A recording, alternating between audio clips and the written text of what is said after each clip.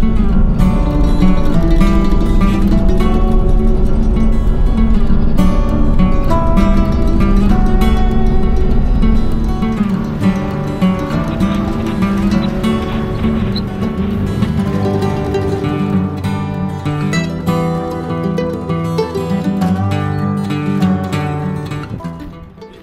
We are here in the Cherokee National Forest at the G Creek Trailhead.